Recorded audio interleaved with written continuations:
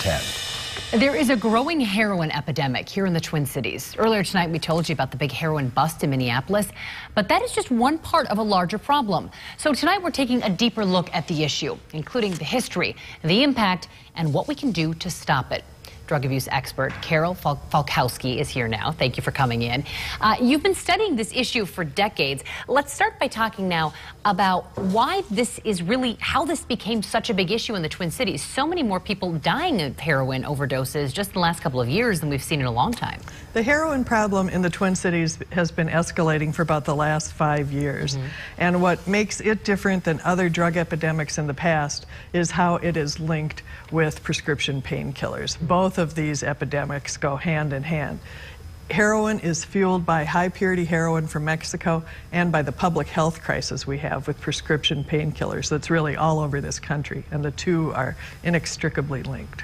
Uh, law enforcement, of course, is working on the issue with, with dealers and people bringing drugs in from Mexico. Uh, what can people do, though, about the prescription drug problem? Well, there are three prongs to addressing any drug epidemic. One is education and prevention.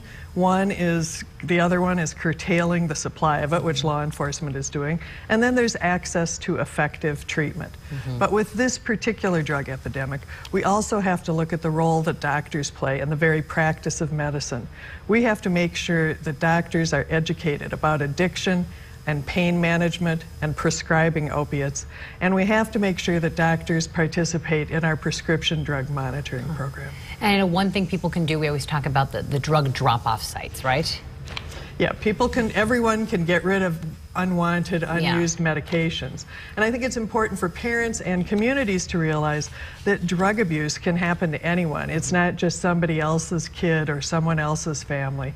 And it's so important to get out of ahead of it to try to prevent it because even with the best treatment, when we're talking about opiate addiction, there are not always the best outcomes. And even with treatment, people can struggle a whole lifetime. Uh, and let's talk quickly about that. You said opiate addiction. Now, now this is different than, than issues we've seen in the past. It seems like several years ago, meth was the big thing we were talking about. How is heroin different than a problem like that? Well, the thing that makes heroin different is that it also involves painkillers. And maybe many people start out addicted to painkillers and switch to heroin because it produces the same effects and it's more affordable and it's equally available. So we really have to look at both of those. What distinguishes heroin and painkillers from other classes of drugs like meth or cocaine is that these drugs have high abuse potential, high overdose potential, and high addictive potential. Just a little bit too much wow. can kill you.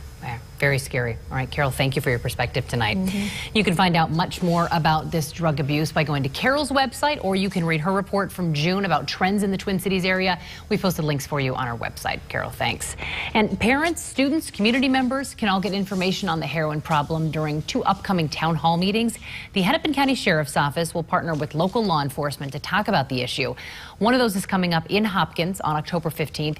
The other is the 27th in Maple Grove. We posted details for you on our website. You can find it all at kstp.com.